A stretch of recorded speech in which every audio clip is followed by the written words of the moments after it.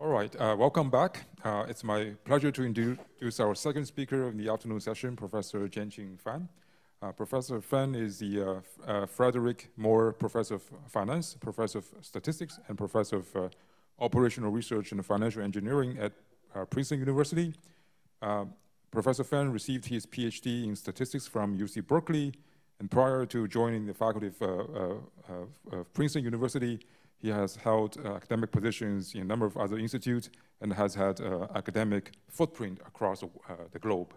And uh, uh, Professor Fan has been an instrumental figure in advancing our understanding of high-dimensional statistics, financial engineering, econometrics, spectral methods, and non-parametric methods, among many other areas. Today, Professor Fan is going to talk about his recent work on uncertainty quantification for prediction. All right, thank you uh, yeah, uh, for a nice introduction. And thank you all for staying here. I mean, it's a long two uh, days conference, very interesting. I personally learned a great deal. Thank uh, organizers for invitation. Otherwise, I wouldn't get the opportunity to expose other people's application. My favorite application is machine learning methods in, for societies. And uh, when I was chosen to talk, it's always difficult. What would fit the audience? I say, oh, well, if I talk on, let's say, financial fraudulent detection uh, using machine learning and big data, maybe it only interest to a very small section. So, so I decided to talk about prediction because we are all doing prediction, and, uh, uh and this is the prediction interval I intend to talk today. So this is based on joint work with my uh, student, Jiawei Ge, uh, and the, uh, I mean, Debarghya Mukherjee, and uh, so it was a very nice collaboration. This is really the outline of my talk. I will give you a, a brief introduction, problem setup, and give you the methods, and then we provide statistical theory as well as numerical uh, studies. So this is the outline of my talk. So we all know that, uh, uh, I mean, prediction interval uh, are very important, right, for uncertainty quantification in predictions. So here are two hypothetical toy examples, right? So suppose we have measure on blood pressure, and the patient one and patient three, point estimation, they are the same, 125. However, uh, the uh, predicted interval for patient one is much low, I mean, narrower than the other one, probably uh, from treatment insight point of view uh, patient number three have higher risk of uh, hypertension.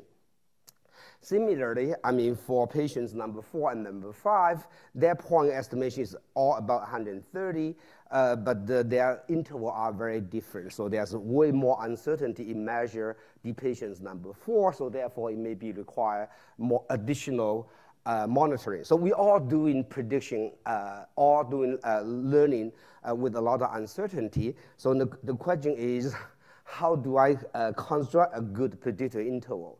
And before we talk about this, right, the first question people may ask is, what is a good uh, prediction band? We have lots of discussion on prediction, but we really have very few study on its uncertainty quantification.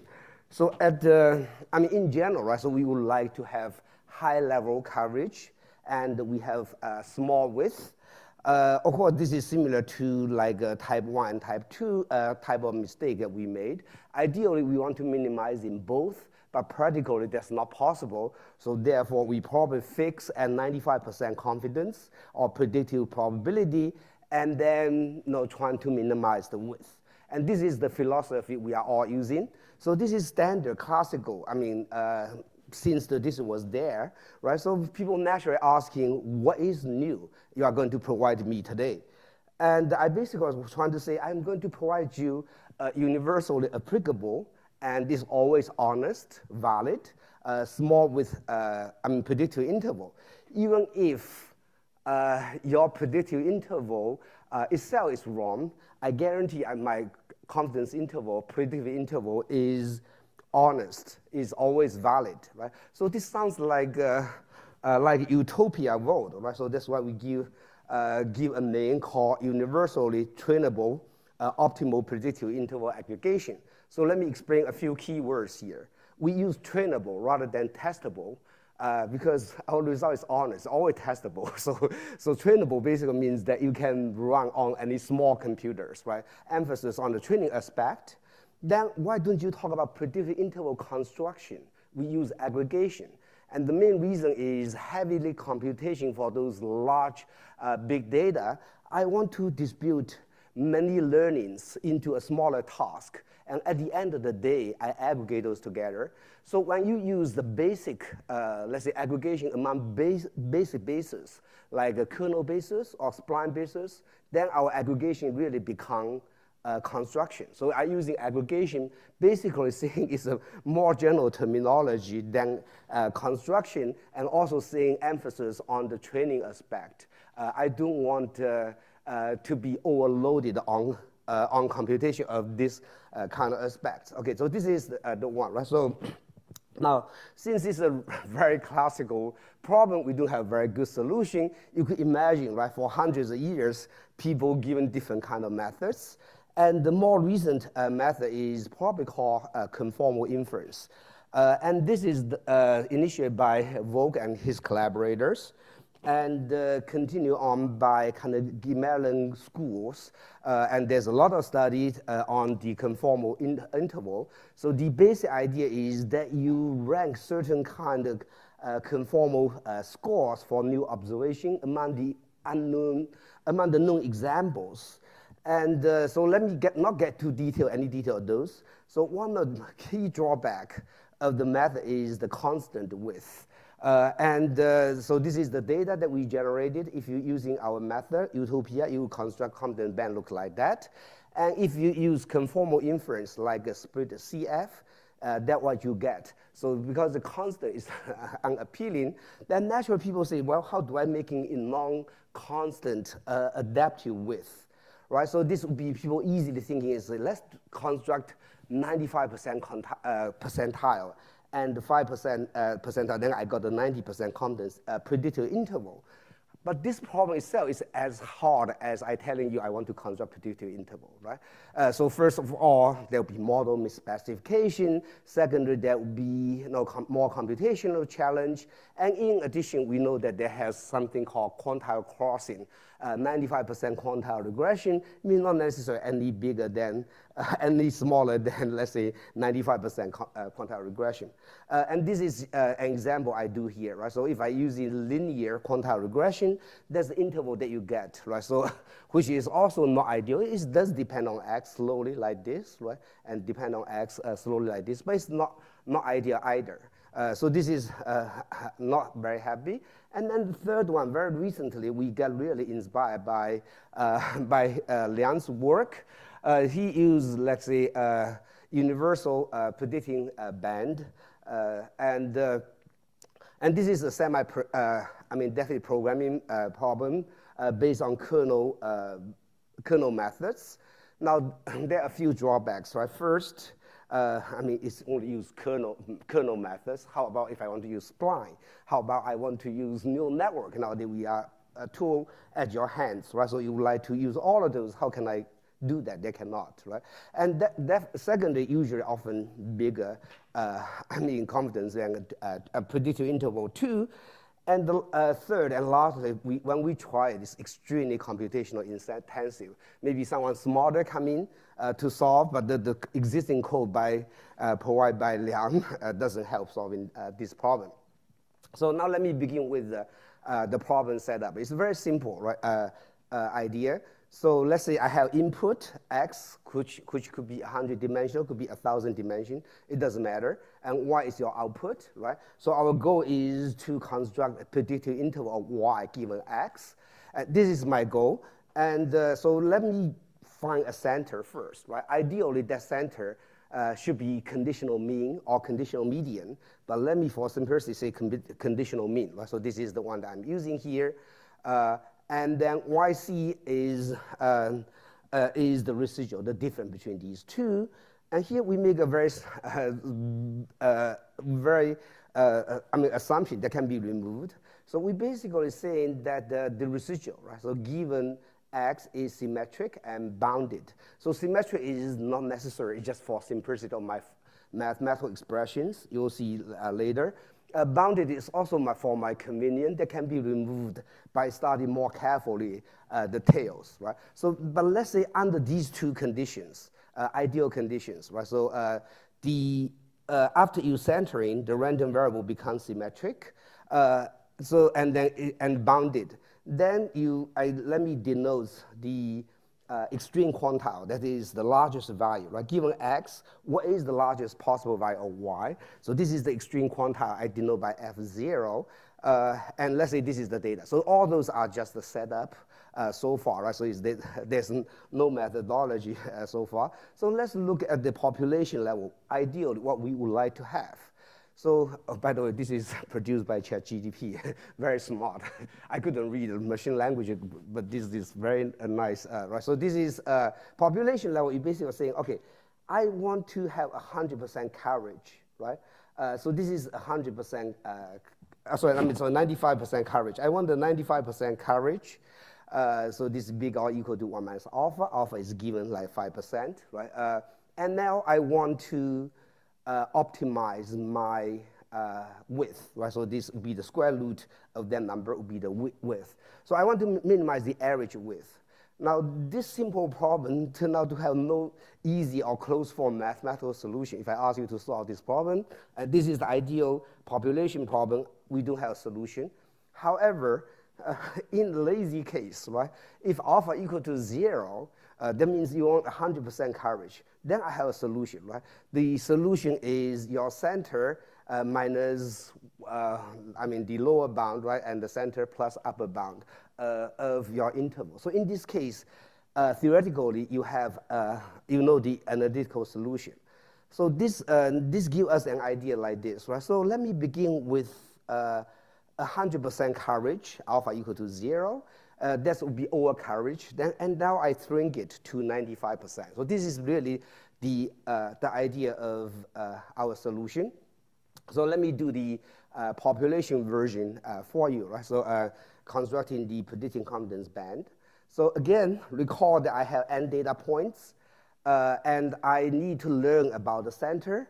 I need to learn also about the, the width, right? So this m is in a class of function that I'm going to center my data, which is unknown. I'm going to learn uh, the best within my family, right?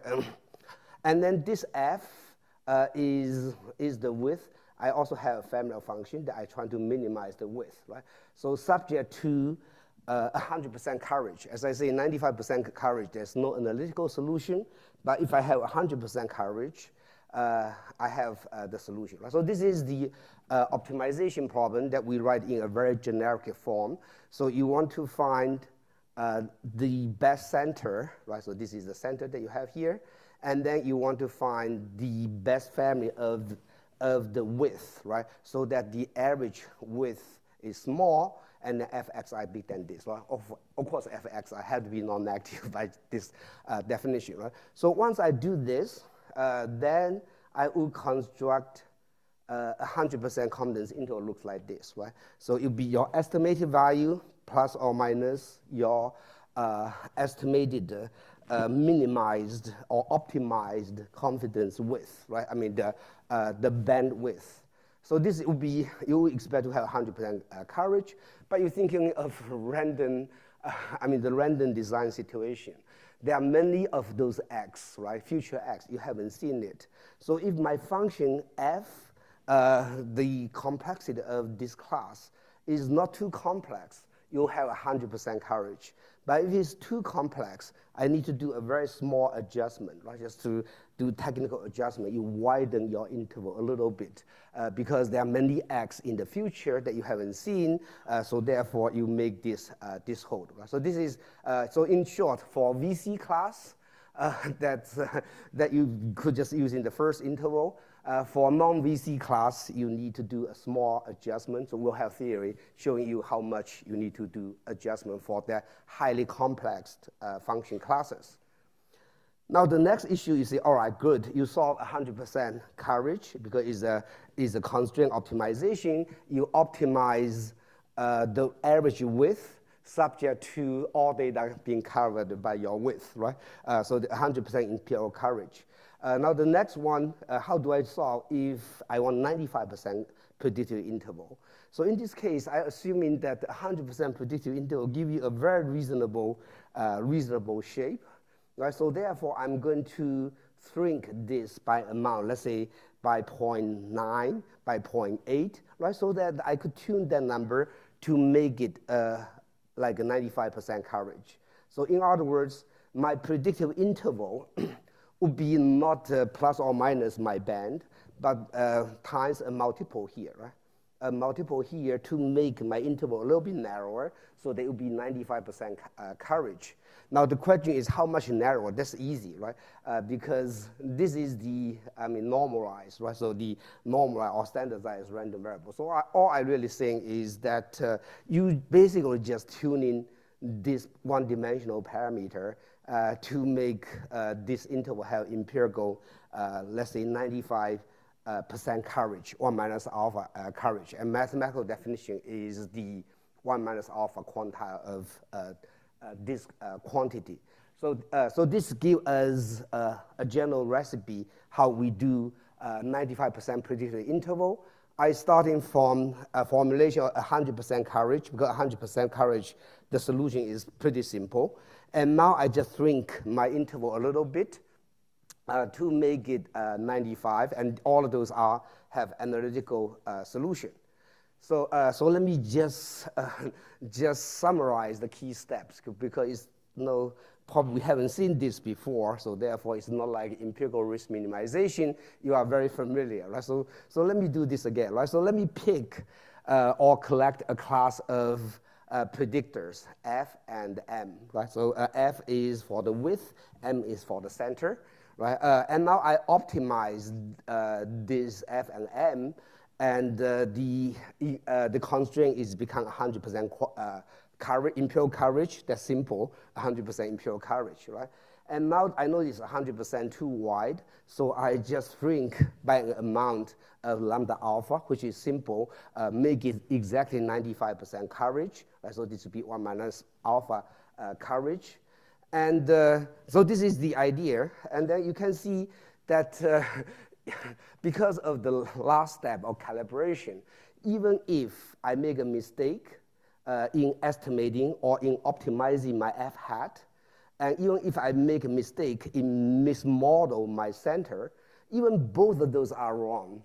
I mean, you still, I guarantee you still have 95% coverage because the last step is I choosing uh, the data to have empirical, right, uh, like a 95% coverage. So this is really another layer of utopia world that we actually, uh, we, we are thinking of, right? So uh, this, uh, uh, so, so, so that even if you're estimating the center wrong, and you're estimating the width wrong, in this case, you still have 95% coverage. It's just not the optimal width, but it still gives you an honest coverage. Uh, okay, so now here's a few uh, remarks just to say that uh, symmetric assumption is really just our lazy way of uh, I mean, presentation, right? So if you will have asymmetric, that means you have two center, I mean, at uh, uh, so you have your predicted interval have two upper bound and lower bounds, right? And now you optimize the, the width subject to this 100% uh, coverage.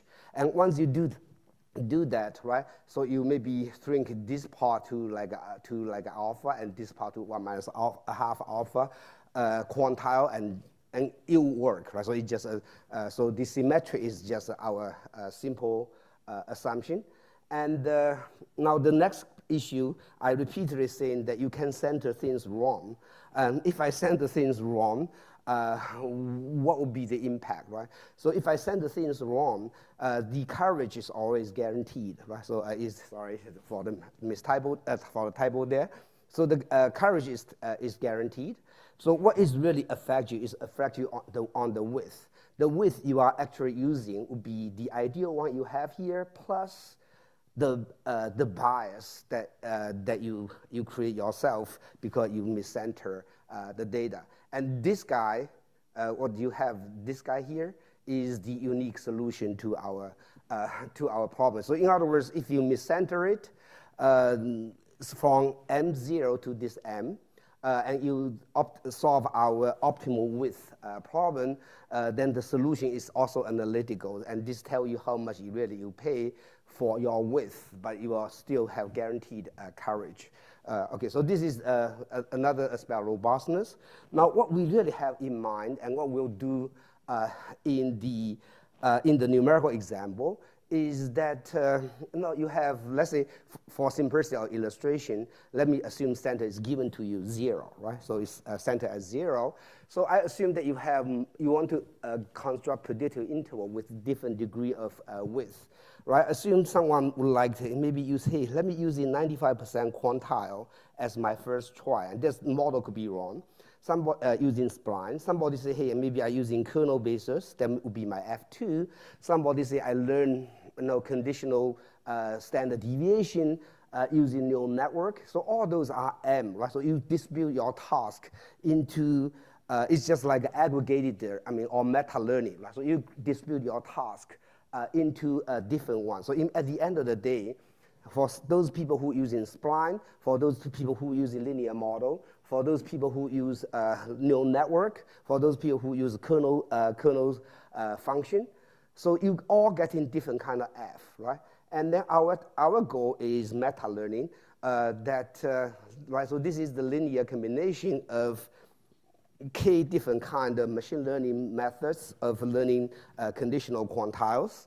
And now I just aggregate those together, adding those alpha together, right? So this one basically saying subject, this is the average of those would be aggregate of uh, k machine learning methods and the, uh, this should have 100% coverage. So this line basically saying 100% coverage, right?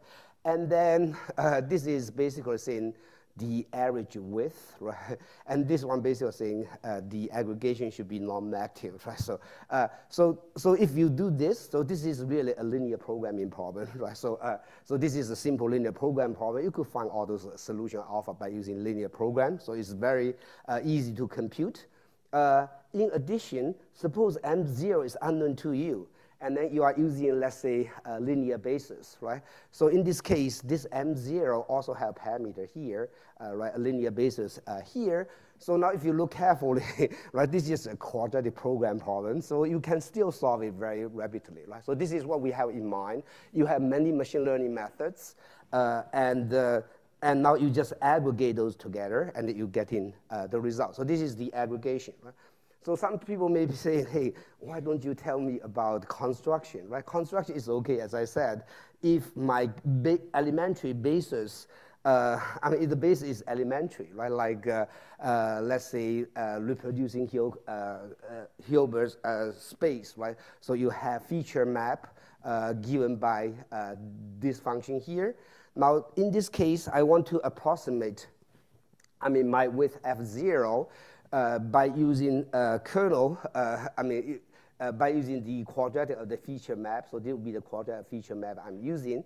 So therefore, our problem becomes like this, right? So you want to minimize, you want to have 100% coverage, right? So this line basically saying you, I use the quadratic of feature map to control the width so that I'm, I guarantee I myself have not, is non-negative, right? So this is the 100% uh, coverage for all data points. I minimize the average width, right? And I subject to the constraint that uh, this uh, quadratic function map, uh, uh map should be non, uh, semi-positive definite, and the, the trace or, uh, of this or operator of this is controlled by R. So like, this would be an infinite dimensional problem, but if I'm looking in uh, using representer theorem, it's become a finite dimensional problem. It's very easy, right? So you basically are saying, let me K and denote by this uh, feature matrix, right? Uh, kernel feature matrix or, or similarity matrix. Uh, and now I want to, this is the width, right? Subject to minimize this width. And this line basically say you have 100% coverage. And this line basically saying that uh, uh, the, the trace is controlled by R, and this B matrix should be non-negative. So this is a, a, semi-definite program problem and can be efficiently solved. Right? So in this case, I'm just using uh, the very elementary uh, I mean, feature map, right, as my basis function or as I aggregation, then I got uh, a construction. So uh, in this space, uh, I mean, uh, Liang uh, actually uh, solved a similar problem. So his solution basically say, hey, let me optimize this operator norm subject to 100% coverage. uh, and then this a uh, bigger or equal to zero, but this is not directly related to the width. So we are way more explicitly, I mean, connect to the, uh, the optimal predictive width. So this is uh, example uh, two. And then, the, uh, then in order to do computation fast, so we use the, the two-step, I mean, utopia. So meaning that you could separate, right? So you, you using some kind of machine learning methods. And again, this could be more than one machine learning. You could use a neural network to learn the center. You could use a kernel to learn the center. You could even use in simple linear regression to learn the center, right? So then you learn a center and you could aggregate those centers, right? And then let's say just you, let's say I just using two step. I, I learned this m hat. Now I fix my centroid. So now I need to learn the optimal uh, width, right, to uh, f0. And this would be uh, a two-step method, right? So this is the same as uh, now center being given to you here. Now you are just optimizing uh, through this, uh, uh, this F. And uh, as I said before, even the true M0 conditional mean is not in this class. you still have, I mean, coverage guarantee. It's just a little bit wider, a little bit wider than than you want, but you still have a 100% uh, guaranteed. So this is the two, uh, the two-step method that help solve uh, the uh, computational problem uh, too. So for example, as we do the, seen the aggregation here uh, before, right? So when M0 is unknown here, you need to solve a quadratic program, right? So if M0 is known to you here, you are in a linear program problem, right? So it's much faster to solve that way. Uh, okay, so this is uh, the uh, so this is the two-step methods. So now let me provide you some kind of theoretical studies just to show you that uh, that we know, we have I mean good theoretical guarantees. Right, so in order to study in a little bit more generality uh, of empirical learning, so we need to define uh, complexity. Right? So one uh, re related concept to the complexity in empirical risk uh, minimization uh, is the Rademacher uh, complexity, which basically saying how rich your function f is, so that you can find how big this function can be spuriously correlated with Rademacher random variables. Right? So this is basically uh, the, uh, the uh, Rademacher complexity, which talking about correlation between uh, spurious correlation between the class of your function and the Rademacher random variables, and this give you an idea how rich the class of uh, function is.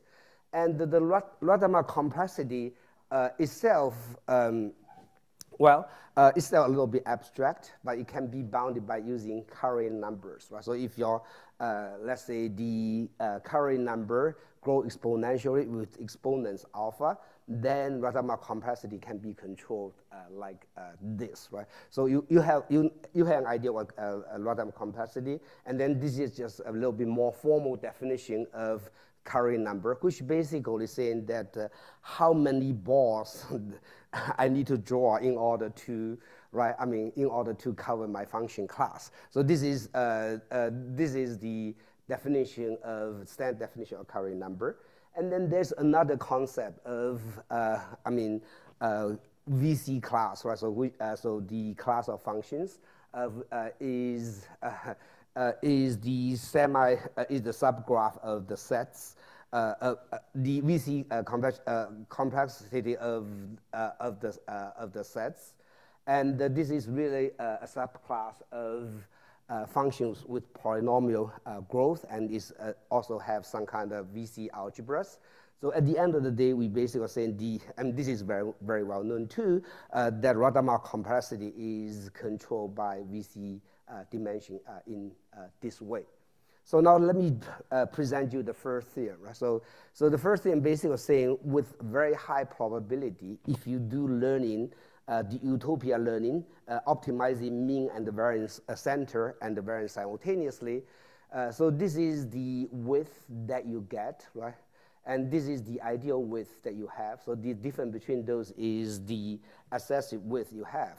And this is controlled by uh, how good your function was approximating this f, right? So you're always approximating uh, the width f0 from above, right? So, uh, so this is uh, so this delta really reflect the modeling bias, if you like. Uh, if you uh, if you in your class uh, mean in your class uh, variance width, width in your class, how much you can you can approximate from above, and if the model is correct, the, this this quantity will be zero, right? And then plus how complex your uh, function is. So this is Rademacher complexity of, uh, of my f function here, and this is the bound of uh, the function f. And in addition, if you are talking about uh, the, in, in addition, if you are talking about the coverage, right? So the, for a future data, uh, what is the probability my y actually 100 uh, uh, actually my y actually belong to this uh, this interval well, uh, and the, this is the this is the coverage probability and different from let's say one minus alpha is controlled by the VC dimension, which is now we have two part, right? The f and the the, the the f function and the f, y minus x squared. I have two part from that. So these two uh, together control the complexity here, and then plus just concentrating quantities. So in the uh, in this result, actually, we cheated a little bit, right? So we split the data into two halves and learning both, uh, both. Uh, I mean the uh, the alpha, uh, the I mean the the the, the adjusting constant alpha, uh, adjusting constant constant lambda from a separate data, but. But our numerical work shows it's really just a little bit laziness that we are doing. Splitting data is indeed not necessary, just for uh, convenience of theoretical uh, arguments. Now, for non-VC class, uh, we have similar, uh, uh, similar kind of results, right? So this is the, uh, in this case, your width certainly is a bit wider because I already add in delta n. I'm talking about this f0 and this expected one. So this is controlled by a very similar quantity. So now in terms of the empirical coverage, uh, so this is the, the actual coverage. So it's uh, divided by this, uh, depend on how uh, delta, when you widen the interval by amount of delta. Uh, so this is, uh, this delta should be smaller than the uh, VC uh, uh, complexity. So this is the theory for, for non-VC class. And this is for the one step, right? You optimize simultaneously for the center and the width. So if you, so, uh, so okay. So if you were sorry for this, I mean this is a, new talk. so now I need to talk about for two steps, right? So if I need, uh, if I have a two-step uh, estimation, so I need a, a, key assumption. This really means to be saying uh, a key assumption for two-step utopia. So, um, so intuitively, you, if you think that you, if your center is a consistent estimator, then uh, the width that you're learning should be also very close to the case that you know the mean, right? And uh, however, there's a little bit continuity there. So this is not necessarily always true. And the main reason is, let's say, suppose my function is not very rich. I have only two members, uh, f0 plus f0 plus 1. I have only two members. And I make a small mistake here, right? So in my estimation function, I make a very tiny mistake. Uh, so when I make a tiny mistake, this f0 no longer being able to bound this f hat anymore. I have to go to the next function. So there's a lack of continuity there. So therefore, we need, uh, uh, we need some kind of uh, continuity with respect to perturbation. So basically saying that uh, uh, if uh, f star is the minimum right, of this function, and you adding a small constant to it, and that should be belong to my family too. Just, just shifting the function f star by a small tiny constant. Uh, that, that function should be also belong to my function class in order to guarantee the uh, continuity. And under this kind of assumptions, then we can get the results. Uh, so what is the uh, expected width? Uh, so the expected width be uh, right. So this is the width that you learn, uh, different from the, this is the, the minimum width you need to get, ideal width, right? And then plus this one basically saying how much the bias you approximate your function from your class. Uh, in the ideal case, would be zero, but typically we may make a mistake. So this would be uh, the mistake. And then plus the uh, estimation error, right? So you, when you learn the center, you have uh, estimation error that you have here, plus of more complexity, and similar results holds for uh, similar result holds for like coverage probability. So the coverage probability is also right. Uh, the two, uh, the true one and the expected one uh, should go to go to zero, even if you're estimating the the centroid or the width wrong. And similarly, the result also applicable to non-VC class. The statement is very similar, except now we have to widen the interval by delta, and this have to be divided by uh, that little uh, delta here. So, uh, so let me give you a few uh, example or a few corollaries, right? So in the, uh, the, the most basic expansion, uh, I mean aggregation, I have the K basis that I use to, to learn for my width, and these all could be learned from different machine learning algorithms, right? And I have L basis that I use to learn about my mean, right? And then I do uh, the one step, or the, just like utopia. Uh, in this in this case, the quadratic programming. And uh, in this case, you, when you apply our general theory plus complexity for this linear space, is very well known. So the assessed width, just to give an example, right? So this is the bias by using your uh, class approximation, and this is the complexity uh, of, uh, I mean, of the linear uh, basis. And similarly, the coverage difference or, or the coverage uh, mistake is controlled by this. Right? So this would be a very simple application of the general theorem that we have. And similarly, if you apply our theorem to the example two I was talking about, that, that is you construct a confidence interval or predictive interval using the uh, kernel, kernel basis. So in this case, your function f become all quadratic function, function using uh, your uh, feature map, right? Uh, and I assume kernel, let's say, bounded by this little b. And uh, in the theorem uh, below, I just keep this m to be arbitrary. So all only I using the kernel basis to kernel basis to approximate my function width. Then you similarly apply the theorem that we have before, that will be the same as bias, and this is the part that relate to complexity of uh, quadratic, uh, I mean, uh, quadratic of the feature map. And this would be the results of uh, assessed width and the uh, coverage difference.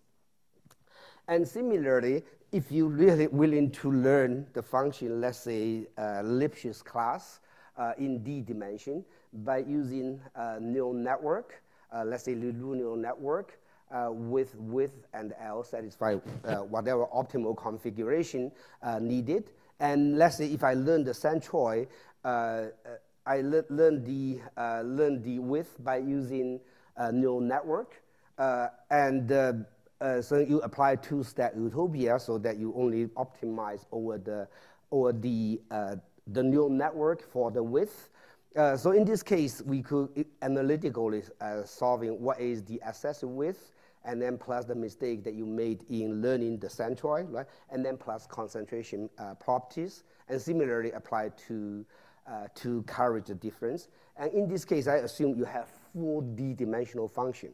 But if your two d-dimensional function is a composition of many lower dimensional functions, there's a theory uh, that uh, relate to this. Basically, saying you just replace dimension adjusted degree of smoothness, alpha divided by d, right? So if you divide d on the numerator denominator here, uh, dimension adjusted degree of smoothness by the most difficult component of those hierarchical composition models, the result continue to hold. So this, so this just showing you uh, a variety of results that uh, continue to hold.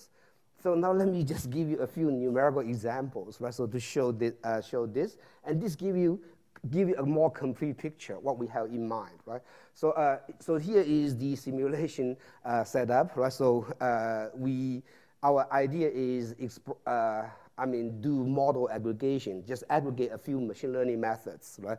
Uh, and in the implementation, in order to be fast, we use in two-step utopia. You learn the center first, and then you solve uh, uh, as if you have known center. So in the first uh, simulation setting, we generate 3,000 data points many times, 200 times. So we use first 100 data just to learn what kind of candidates uh, function or feature map you would like to have. uh, and as well as the center. And then we use 500 data points uh, to, uh, I mean, uh, to aggregate the estimators. So in other words, you apply this linear or quadratic linear programming to find the optimal aggregation of all those different machine learning methods.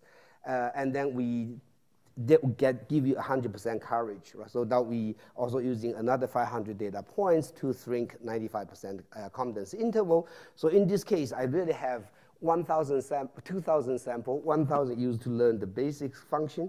The other part is to learn aggregation, what is the best linear combination, plus what is the shrinkage uh, factors.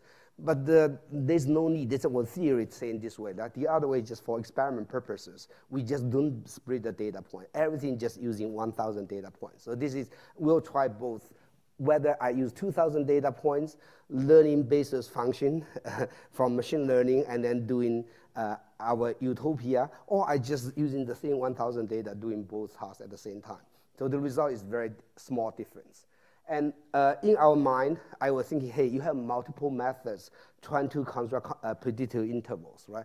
So, uh, so one of those methods is, let's say maybe I want to, uh, whenever I refer to uh, quantile, I really means quantile wise uh, this different square given x, so which is give you like a conditional variance type of concept, right? so in, in the first two functions, I will basically say, hey, I learned this function using neural network, uh, using neural network at level, let's say 0 0.7, 0.6, and 0.7. So I just artificially construct two functions. That would be my F1 and my F2 by using uh, these kind of very simple neural network. And then the third uh, function, I really using, let's say, random forest to estimate the conditional quantile. I could using gradient boosting model to estimate another conditional uh, quantile, just artificially creating a few different methods, right? And then I could use like a deep neural network uh, applied directly to these square residuals to learn uh, whatever the shape that would be called F5, right? And then last, I have constant one. By the way, if I don't, if I only use constant one, I really looking for the optimal uh, uh constant width uh, to uh, to cover that, and that actually would be very similar uh, to what's so-called conformity, uh, I mean, uh, predictive interval. But here I using five functions, right? One function learn from here, one function from here, uh, one function from here. So I use five functions. Now I do best linear combination trying to minimize uh, my width. And this uh, also split the efforts of computation right into each of those are small computation. Then aggregation itself is a linear programming. It's also extremely fast. So therefore, the whole thing is very fast, right? So, uh, so what are other methods that we include? So other methods we include is linear quantile methods, linear regression, uh, uh, split uh, CF, which is from conformative uh, inference, and then uh, SDP methods of Liang in 2001. And so these are methods are compared under the same configuration so that we can do fair comparisons. So now I generate a few models just to to give you an idea. So the first one is location uh, scale model, and the mean is known to you, let's say zero. So this is the, uh, the function map function that I'm, uh, the data I generate. Uh, so in, uh, this is uniform design. Uh, I mean the uniform error, and this is the, the conditional variance in a sense, multiple to conditional variance. And so this is typical result of our methods, right? So it seems to me capture the heteroscedasticity of the data very well, and all other methods doesn't capture uh, in any, uh, in any uh, ways. And now if you compare, let's say the methods, so our methods, all methods have right coverage because uh, more or less uh, correct coverage. And our method has by far the smallest width because we are optimizing the width among all those uh, kind of methods. Right? So this is when I do the simulation experiment with data splitting. So if I'm really lazy without data splitting, so in other words, I'm really only using the same 1,000 data points, and this is the result we get. They are very similar, uh, and everything is very similar. So means with and without is really a matter of technical convenience for mathematical proof uh, rather than uh, the intrinsic uh, uh, difference. Now, the second example deviates slightly right, uh, from the first example, in which I assume the known mean here is also unknown. So therefore, I need to learn uh, the mean function through aggregation of all those uh, similar kind of basis uh, functions. So we, we estimated mean by using uh, another deep neural network um, uh, like this. and now I got a mean, and I do two-step uh, utopia very fast. So the mean apparently being estimated very reasonable accuracy. So this is our methods. So this is linear quantile methods. So this is British CF and this is SDP methods. And again, if we compare uh, the results, right? So all method are has a right coverage. They are honest, around 95%. Uh, now, in terms of width, because we are doing optimal aggregation, we are doing optimal learning uh, or uh, meta learning, so we get a much uh, smaller width, right? And again, this is compared with data splitting and without data splitting. The, the result is very, very close. So this gives you the second example of, of doing this. And then the third example, just trying to move a little bit away from location uh, scale uh, example. So in this case, we generate data from gamma distribution with, uh, with uh, I mean, depending on x, conditional gamma distribution. And, uh, and then, of course, we want data to be bounded, so we truncate data at more or less two standard deviation. Uh, and this is, yeah, and this is the, the method that we are using to learn, the all method used to learn. And now, again, if you compare our methods with other methods. Our method has correct coverage, honest uh, coverage, right? Uh, and then, uh, and in addition, we have the smallest width uh, because we are optimi optimally uh, aggregate a few methods. Okay, so it's remind me to wrap up soon. And we apply this to, you know, to real data because you know, not many people here necessarily interested in finance. Uh, so let me just skip all those. But basically, the, the key, I mean, uh, the key message is that we are always shorter because we are optimized, uh, optimally, uh, I mean, aggregate uh, the, uh, the, the, the width and uh, this is just example showing that you can apply to multivariate case too. I mean, univariate is just simple for graphical purposes. And when, even when you apply to the multiple, I mean, multivariate data in macroeconomic time series, the story is similar that our, uh, our method is always shorter, is always shorter than other methods. So let me quickly summarize and then discuss, right? So what, what do I do uh, in the last hour, right? So first, I propose a universally trainable optimal predictive interval aggregation, and the, the word aggregation is used for both purposes, right? So constructing is part of it, uh, meta-learning is another part, and the training, uh, uh, trainable emphasis is very fast in computation. And uh, so the aggregation really allow us to reduce computation dramatically because you just learn a few shape in any way that you like, and then you just aggregate them. Uh, and you have uh, right coverage, small width, and easy to compute. So that's why we, it sounds like utopia, we give a name called uh, utopia.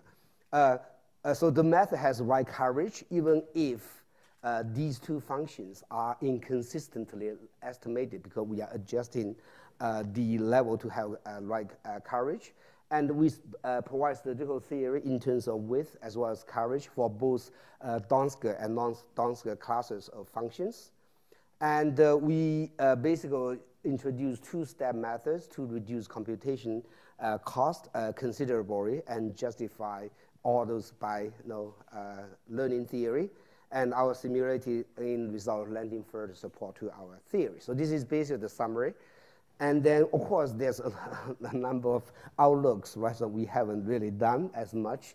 It's just um, like half a year ago, we were learning this, so this is just a new result we have. So, so far we have to do like 100% coverage and then, uh, and then throwing to 95% coverage, right? Can we do in a more, uh, I mean, one-shot efficient way? I mean, so far we haven't uh, get an answer to this, right? So, so far we have overall coverage uh, that 95% is correct? Can we say in a certain region uh, it, I will have 95% coverage. So it's a conditional val validity rather than unconditional ones. And now if I apply to time series, something like that, right? so uh, how, do I, how does it affect the coverage width? And now if my data learned from Boston apply to New York with the distribution shift, uh, can we use the Boston's knowledge uh, uh, to help me learning in New York area, right? So, uh, so far we haven't uh, studied these kind of problem yet. And with this, we just put the paper up not too long ago. So this, thank you very much. So this is the paper on arXiv.org.